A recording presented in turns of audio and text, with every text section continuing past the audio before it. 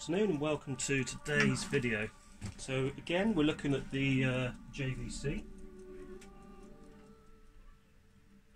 and we're going to be trying to set up the um, VCR so that it actually plays back in some kind of normal sort of playback speed. Now for this process I think you need the actual original remote control um, because according to the setup in the manual, this is for the equivalent 3v16, which is the Ferguson version. And uh, I've been very kindly loaned this manual, and it will hopefully prove invaluable for this particular process. I also have this uh, more accurate probe on the oscilloscope, which hopefully will help us um, in our quest to sorting this out. So we need to skip towards the section in the manual, uh, which is titled Electronic Adjustments. And we've got a whole section here about electronic adjustments. So one of the first things that I want to look at is the servo circuits. So the capstan is the one that seems to be causing us some trouble. So we're going to take a look at capstan sampling position. So play back the alignment test tape. Uh, set the unit for fast playback mode, which it's now in. And we need to adjust R109, which is speed position for 6 volts.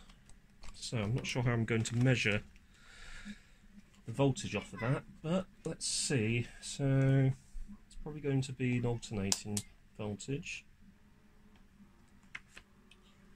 So R109 is going to be one of these R109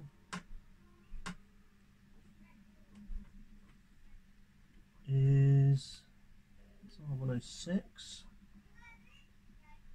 R114, R11,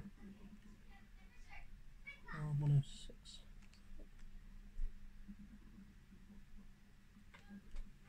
So look at the rear of it. So we've got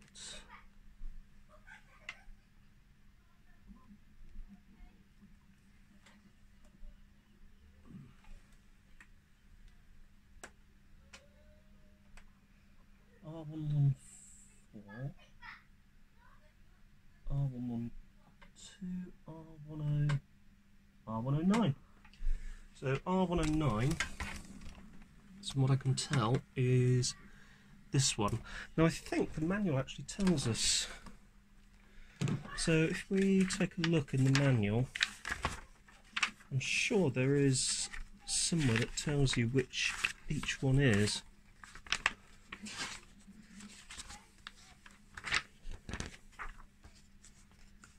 Sure if it's on one of these.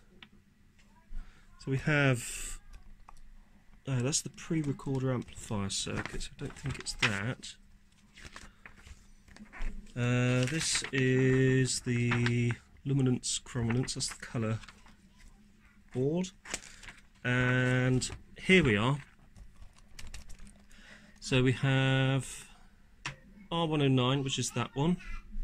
That's R106, that's R114. So normal position, speed position, slow pulse. So it's those three that I think we need to focus on. So it tells me that R109 needs to be at 6.0 plus or minus 0.2 volts DC. So if we actually have that other slide out so we can actually tell which one we're looking at. Not that one, this one. We have that out as well. We are looking at this one. I don't think you could see there, but we are, if I just come up and come down to the board, we're looking at this one, and it needs to be 6 volts. So During this part of the video I've decided to speed up um, all of the video itself. Uh, if you want to watch the full copy there is um, a more in-depth copy which is the entire video and all of these various adjustments and tests that I try to make to get this machine working. However I've come to a point with this where I'm not sure where to proceed next. I need to check a couple of things, possibly looking at the power supply, making sure that the power supply is giving the correct output, because it seems when measuring the voltage over um, or from one of the potentiometers, I'm not getting a full 6 volts. So it could be a resistor in the lead up to that particular potentiometer, it could be the power supply not outputting everything correctly. Um, anyway, we'll be moving back to a- the main audio. journey. We've got to a point where we do seem to have picture, but I'm not getting a correct voltage off of that potentiometer, so it could be potentiometer issue. Um, my scope is not the most useful of things, unfortunately, bless it, but you know, it is about 100 years old.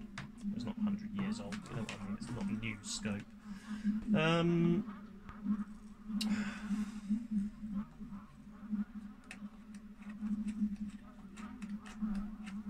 really not sure. Anyway, I think that's it for now.